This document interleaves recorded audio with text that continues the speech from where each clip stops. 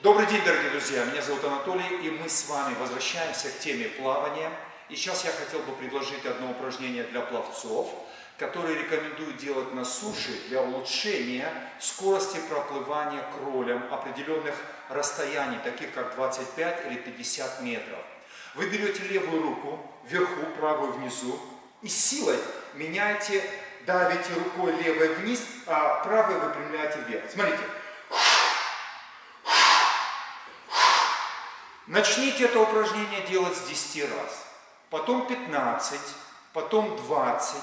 Ваша задача довести до 50 раз это силовое движение рукой сильно вниз, и вы напрягаете прям свои мышцы, и вы увидите, как ваша техника и скорость проплывания улучшатся.